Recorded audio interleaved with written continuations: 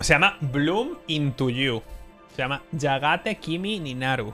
Que sea, literalmente significa al final me convertiré en ti. Es una chica de instituto que se enamora de otra chica de instituto.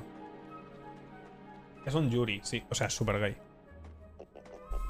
He visto el primer episodio, porque en- TikTok un pavo sale recomendando animes y dice, este está guay. He visto el primer episodio y he dicho, "Ok". Por ningún motivo en concreto, en el primer episodio, sin que haya nada, sin que pasen. O sea, tú te crees que la prota le va a decir a la, a la otra chica, oye, me gustas, pero es al revés. La otra chica le dice a la prota, me gustas. Y tú, ok. Cero, no, no pasa nada. O sea, no hay ningún motivo para que le diga eso. Easy peasy. Pero Japón.